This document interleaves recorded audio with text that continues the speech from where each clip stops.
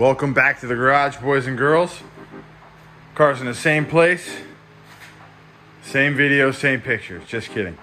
Um, dynoed the car about a month ago.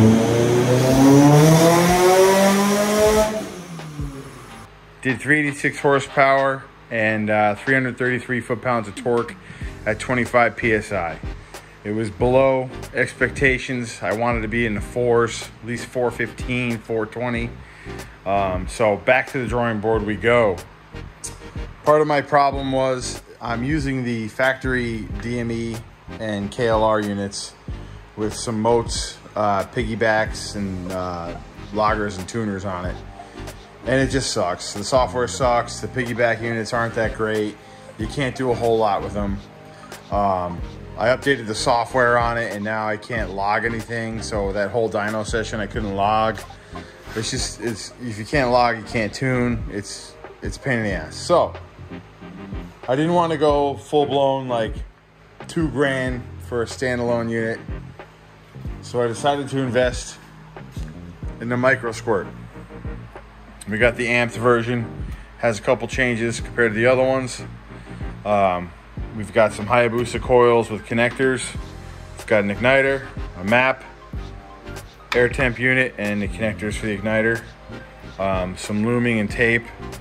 And we are gonna make our own, we're gonna tear out all the stuff over there, everything, whole engine harness out. You reuse what we have to use. We're gonna have a factory working dash. We're gonna have boost control done by the Microsquirt. Um, the only thing it's not gonna control is the water injection. For now, I'm gonna use the controller for the water injection. And I'll just tune around it um, until later on. The nice thing about the, the Microsquirt is it does have a CAN network. You can expand off of it if you want. Um, it's going to do everything I needed to do. It doesn't support knock sensing with the way it's set up right now. I don't have knock on that car anyways. I removed the KLR a while ago. We're shooting water meth in there.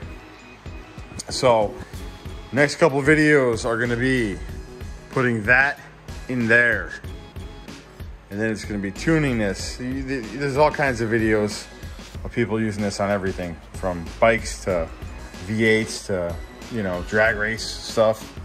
So um, I think it'll suit my need. It's not super expensive.